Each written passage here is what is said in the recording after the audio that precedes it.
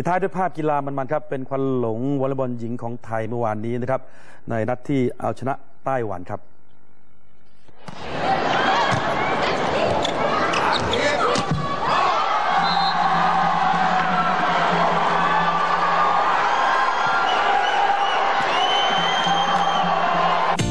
มองที่ฉัน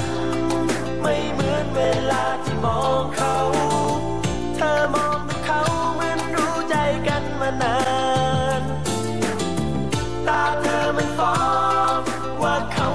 คนที่เธอฝัน และฉันก็เป็นทางผ่า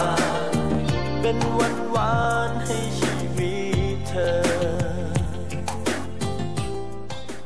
เราชนะไต้หวันนะครับเมื่อวานนี้แต่ว่าผู้ตัดสินชาวจีนครับทำเอากองเชียร์ชาวไทยทั่วประเทศหงุดหงิดไปตามๆกันนะครับ แต่ว่าวันพรุ่งนี้ครับยังเอาใจช่วยทีมไทยได้นะครับ ทีมหญิงของไทยยังมีโปรแกรม